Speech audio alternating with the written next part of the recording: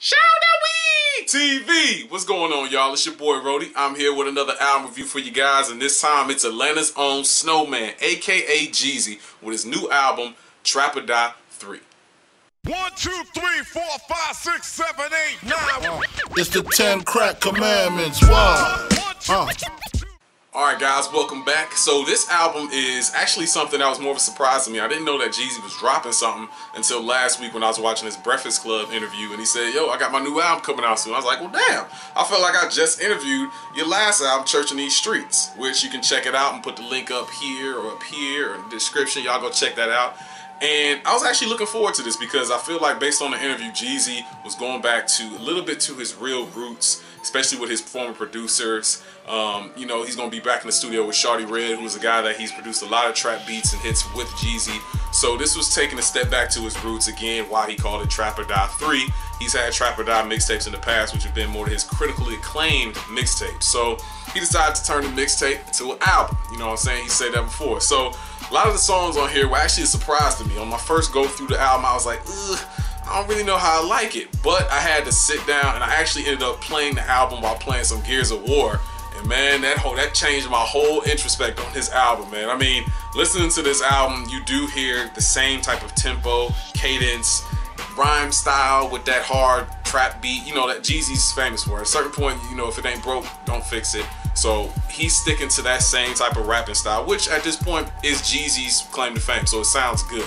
But at first I was like, man, this is I'm not really enjoying this. And then I was like, you know what? Let me give it another run through. So on Gears of War, I'm bumping it. In the first song, G-Wagon. Classic Jeezy beat, triumphant sound, horns, same old, just it's the same type of sound.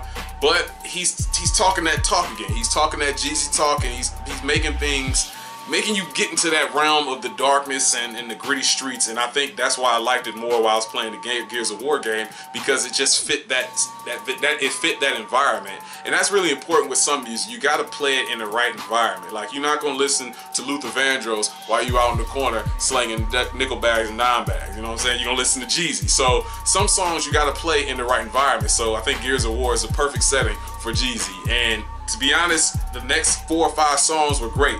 It is what it is, where it at, all there, going crazy, about that. Those are all songs that sound amazing. And to be honest, my favorite song might be the one with Lil Wayne. Lil Wayne low key killed this song, and he did. He came in and out. It was like it was like I was listening to Carter 2 Lil Wayne. He was rapping. It wasn't nothing crazy. He wasn't using too much of the reverb and the voice altering stuff. He sounded dope, and I really appreciated that because that's the kind of Wayne I really attracted to back in college when I really started getting into him on his mixtape days. So it was dope to see Jeezy have Wayne jump on there. Yo Gotti jumped on a song. It was called Where That. Yo Gotti and Jeezy are pretty much two slices of bread in the same loaf. Like they are great together. They work well. Jeezy actually got outdid by Yo Gotti in my opinion because Yo Gotti just sounded good on this beat. It's not taking anything away from Jeezy because Jeezy sounded great.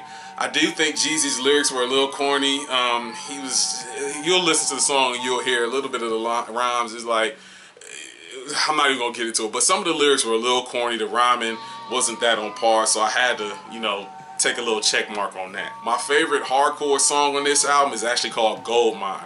It's such a dope, kind of, again, triumphant song. It goes hard. I think this is a single that he could release out that could be heavy in the club scene, as well as something you can just bump when you're working out. These Jeezy albums can be really, really good for uplifting and pushing you in more of an aggressive way. You know, sometimes you have that music that's motivating and you just, oh, that sounds so good. But this is, again, it's that thug motivation type of music that's to be hard and you're to like the way it sounds in certain settings. So it's very important that you realize that when you are listening to this album because first go rounds through, you may kind of be felt back like, oh, this is not what I thought it was going to be.